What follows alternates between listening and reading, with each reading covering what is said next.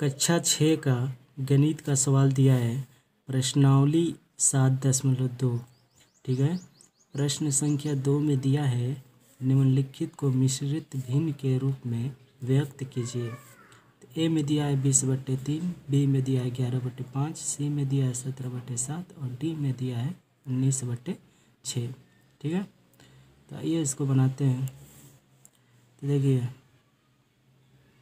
इसको क्या करना है?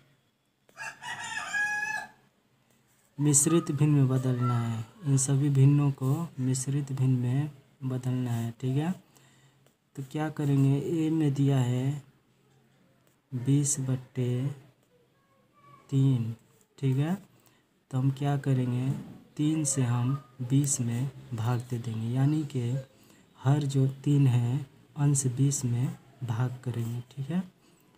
तीन से हम बीस में भाग करेंगे तो तीन छक्का अट्ठारह ये हो गया दो। एक एक कट गया, ठीक है?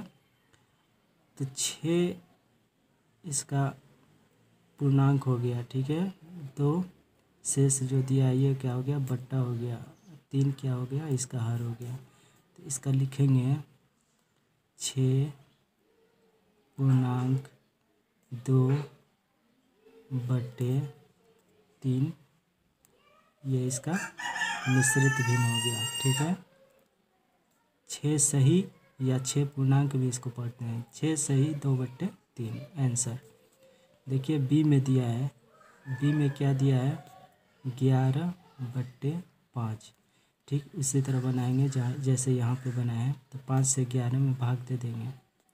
पाँच से ग्यारह में भाग देंगे तो पाँच दुना हो जाएगा कितना? दस।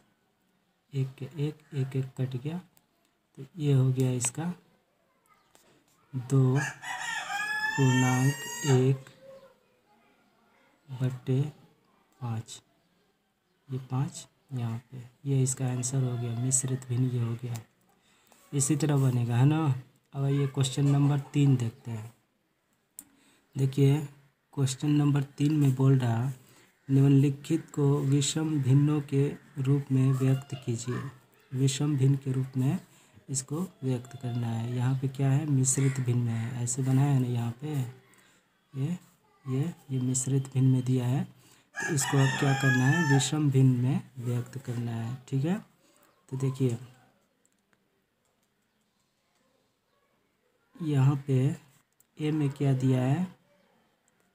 सात पूर्णांक तीन बट्टे चार, ठीक है? तो क्या करेंगे? हम सात को चार में या चार को सात में गुना करेंगे, ठीक है? तो यहाँ पे हम लिख लेते हैं सात गुने, चाहे चार ही यहाँ पे लिख लेते हैं, ठीक है? चार गुने सात, चार गुने सात, ठीक है? अब अंश इसका दिया है तीन तो इसको हम क्या करेंगे? प्लस में लिख लेंगे। प्लस तीन। ये हो गया बट्टा में नीचे चार। चार दिया है तो बट्टा में नीचे चार रखेंगे। अब इसको क्या करेंगे? हम चार को सात में गुना करेंगे और तीन में जोड़ देंगे। तो सात चौके अट्ठाईस या चार सते अट्ठाईस, उनतीस, तीस, इकतीस। तीन में जोड़ेंगे तो हो जाएगा इकतीस। इकतीस बट्टे में चार। ये हो गया विषम भिन्न। आंसर हो गया। ठीक है? अब देखिए बी में दिया है यहाँ पे। बी में क्या दिया है? पाँच पूर्णांक छः बट्टे सात। ठीक है? तो इसको कैसे बनाएँगे? सात के, सात लिखेंगे, सात गुने पाँच। सात को हम पाँच में गुना कर देंगे। ठीक है? अंश छः दिया है, अंश। तो प्लस का छः लिख लेंगे। ठीक है? नीचे सात है इसका तो सात के साथ लिख लेंगे। अब क्या करेंगे? सात को पाँच में हम गुना करेंगे। सात पचे पैंतीस। पैंतीस को छः में जोड़ देंगे। तो पैंतीस और छः छत्तीस, सैंतीस, अड़तीस, उनचालीस, चालीस, इकतालीस। ये हो गया इकतालीस बट्टे सात। ठीक है? ये हो गया आंसर इसका। ऐसे ही बनेगा बिल्कुल ईजी है। आशा करता हूँ समझ में आ गया होगा।